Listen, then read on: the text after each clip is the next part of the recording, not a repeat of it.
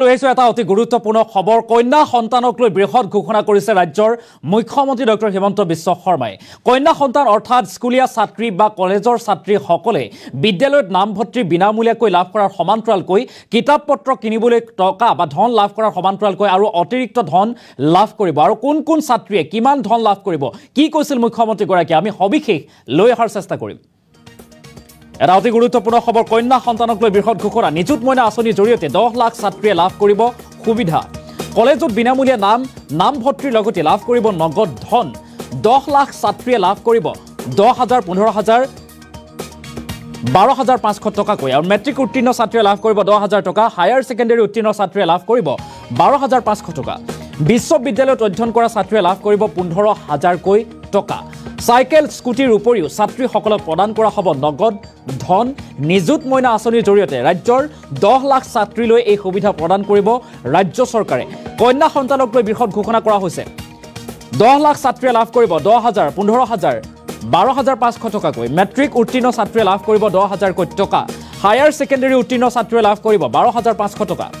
লগতে বিশ্ববিদ্যালয়ত যিসকল অধ্যয়ন কৰিব সেইসকল ছাত্ৰীয়ে লাভ কৰিব পোন্ধৰ হাজাৰকৈ টকা। ইয়াৰ উপৰিও চাইকেল লাভ কৰিব স্কুটি লাভ কৰিব। তাৰ উপৰিও এনেদৰে এতিয়া ৰাজ্য চৰকাৰে বা শিক্ষা বিভাগে কন্যা সন্তান কন্যা সন্তানক লৈ বৃহৎ ঘোষণা কৰা হৈছে। ছাত্ৰীসকলক প্ৰদান কৰিব এনেদৰে নগদ ধন নিযুত মইনা আঁচনিৰ জৰিয়তে। এনেদৰে ছাত্ৰীসকলৰ বাবে ভাল খবৰ লৈ আহিছে। ৰাজ্য চৰকাৰে। আজিৰ দিনটোত ৰাজ্যৰ মুখ্যমন্ত্ৰী ডক্টৰ হিমন্ত বিশ্ব শৰ্মাই কন্যা সন্তানক লৈ কৰিছে এই বৃহৎ ঘোষণা। আৰু কন্যা সন্তানসকলে লাভ কৰিব এই বিশেষ সুবিধাৱলী য'ত কন্যা সন্তানসকলে যিসকলে মেট্ৰিক উত্তীৰ্ণ কৰি হায়াৰ ছেকেণ্ডেৰীত নামভৰ্তি কৰিব তেখেতসকলে লাভ কৰিব দহ হাজাৰকৈ টকা।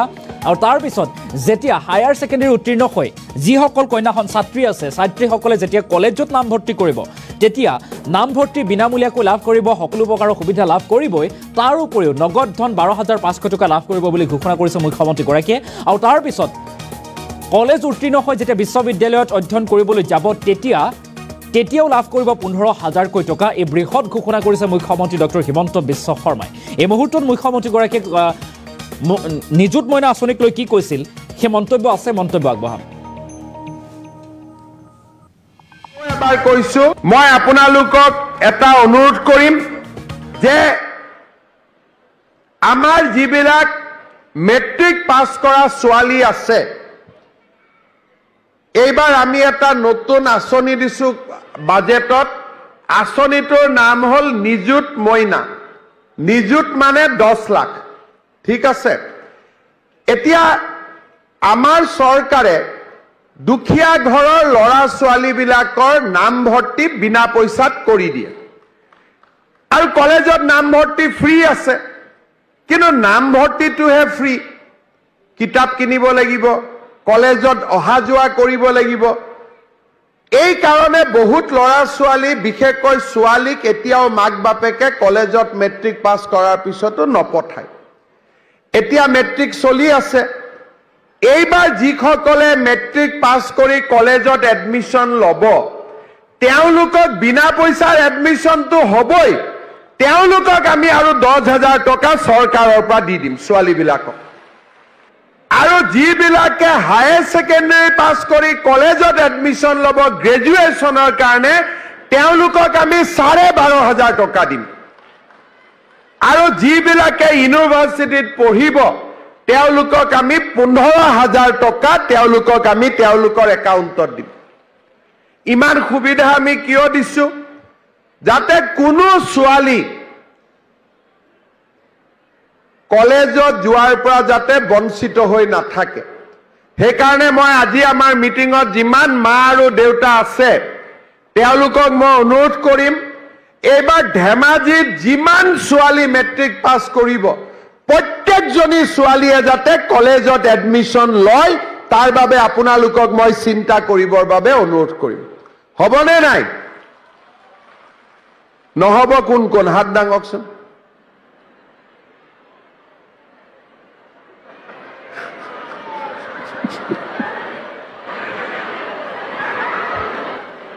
ভালো লাগিছে বাইদেউ। ঠিক আছে। আচ্ছা কাৰ কাৰ ঘৰৰ ছোৱালীয়ে এইবাৰ মেট্ৰিক দি আছে? দিছে মেট্ৰিক দি আছে। যাৰ যাৰ ঘৰত ছোৱালী মেট্ৰিক দি আছে হায়াৰ ছেকেণ্ডেৰী দি আছে সকলোৰে ছোৱালীক আকৌ এবাৰ কৈছো চৰকাৰে দহ হাজাৰ টকা বেংক একাউণ্টত দিব আৰু গ্ৰেজুৱেশ্যনত চাৰে বাৰ হাজাৰ টকা দিব। গতিকে নাইনৰ ছোৱালী টেনৰ ছোৱালী স্কুটিটো আছেই চাইকেলটো আছেই বিনামূলীয়া নামভৰ্তিটো আছেই। এইবাৰ লগত আমি টকাও দিয়াৰ বাবে ব্যৱস্থা কৰিম যাতে কিতাপ পত্ৰ ঘৰৰ পৰা অহা যোৱাৰ সুবিধাখিনি পাই যায়। দুদিন পিছত ক'ব যে দাদাই ল'ৰাবিলাকক নিদিয়ে ল'ৰাবিলাককো দি আছো লাহে লাহে। কিন্তু আমি ছোৱালীৰ পেটৰ পৰা জন্ম হৈছো নহয় গতিকে প্ৰথম কামটো ছোৱালী দি আৰম্ভ কৰিব লাগে। হয়নে নহয়? কোনোবা আছে নেকি ল'ৰাৰ পেটৰ পৰা জন্ম হোৱা? হা? নাইতো। সেইকাৰণে যিহেতু আমি চবেই ছোৱালীৰ পেটৰ পৰা জন্ম হৈছো গতিকে চৰকাৰী আঁচনি যিয়ে আঁচনি আৰম্ভ কৰো প্ৰথম ছোৱালীক দি আৰম্ভ কৰিব লাগে। তাৰপিছত প্ৰথম মহিলাক দি আৰম্ভ কৰিব লাগে হয়নে নহয়? মই ভুল কলো নেকি? এই কোনো এটা হাত মাৰা নাই চক মই ভুল কৈছো নেকি? দিয়ক আপোনালোকেও মহিলাসকলৰ কাৰণে ডাঙৰ হাত চাপৰি এটা বজাই দিয়ক না। और एपिया है। মুখ্যমন্ত্ৰী ডক্টৰ হিমন্ত বিশ্ব শৰ্মাৰ মন্তব্য আৰু মহিলাক লৈ বৃহৎ ঘোষণা কৰা দেখিবলৈ পোৱা গৈছে। এখনৰ পিছত আঁচনি আঁচনি ৰূপায়ণ কৰিছে।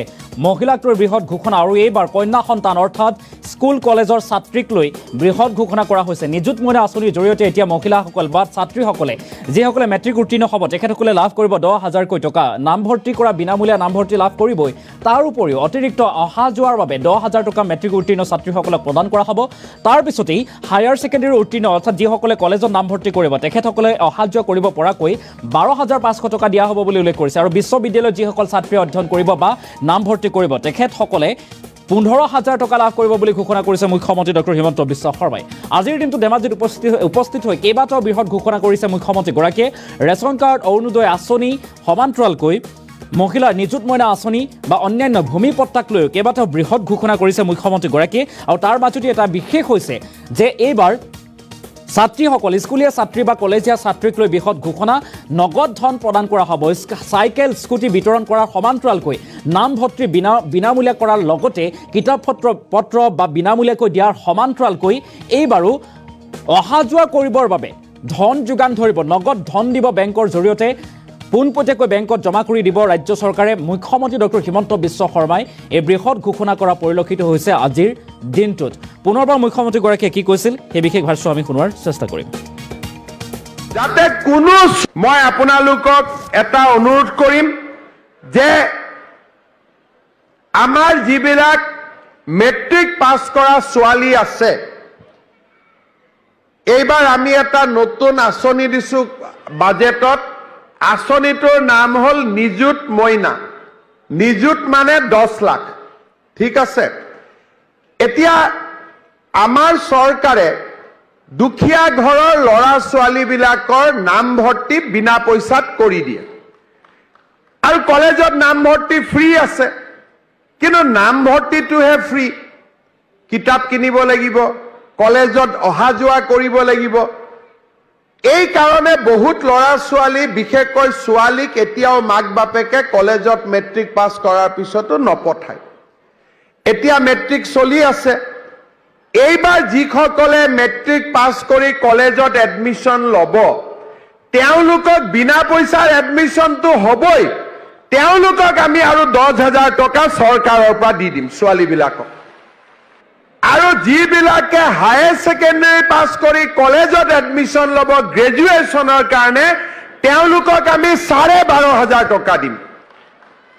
আৰু যিবিলাকে ইউনিভাৰ্চিটিত পঢ়িব তেওঁলোকক আমি পোন্ধৰ হাজাৰ টকা তেওঁলোকক আমি তেওঁলোকৰ একাউণ্টত দিম। ইমান সুবিধা আমি কিয় দিছো? যাতে কোনো ছোৱালী কলেজত যোৱাৰ পৰা যাতে বঞ্চিত হৈ নাথাকে।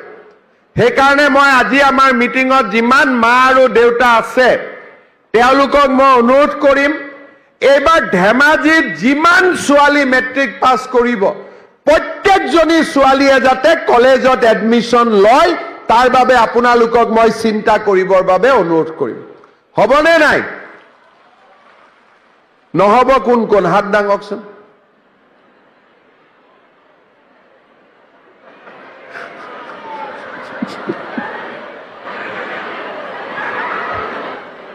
ভাল লাগিছে বাইদেউ।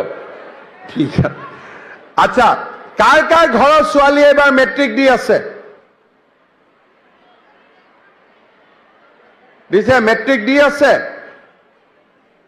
যাৰ যাৰ ঘৰত ছোৱালী মেট্ৰিক দি আছে হায়াৰ ছেকেণ্ডেৰী দি আছে সকলোৰে ছোৱালীক আকৌ এবাৰ কৈছো চৰকাৰে দহ হাজাৰ টকা বেংক একাউণ্টত দিব আৰু গ্ৰেজুৱেশ্যনত চাৰে বাৰ হাজাৰ টকা দিব। গতিকে নাইনৰ ছোৱালী টেনৰ ছোৱালী স্কুটিটো আছেই চাইকেলটো আছেই বিনামূলীয়া নামভৰ্তিটো আছেই এইবাৰ লগত আমি টকাও দিয়াৰ বাবে ব্যৱস্থা কৰিম যাতে কিতাপ পত্ৰ ঘৰৰ পৰা অহা যোৱাৰ সুবিধাখিনি পাই যায়। দুদিন পিছত ক'ব যে দাদাই ল'ৰাবিলাকক নিদিয়ে ল'ৰাবিলাককো দি আছো লাহে লাহে। কিন্তু আমি ছোৱালীৰ পেটৰ পৰা জন্ম হৈছো নহয় গতিকে প্ৰথম কামটো ছোৱালী দি আৰম্ভ কৰিব লাগে। হয়নে নহয়? কোনোবা আছে নেকি ল'ৰাৰ পেটৰ পৰা জন্ম হোৱা? হা? নাইতো। সেইকাৰণে যিহেতু আমি চবেই ছোৱালীৰ পেটৰ পৰা জন্ম হৈছো গতিকে চৰকাৰী আঁচনি যিয়ে আঁচনি আৰম্ভ কৰো প্ৰথম ছোৱালীক দি আৰম্ভ কৰিব লাগে। তাৰ পিছত প্ৰথম মহিলাক দি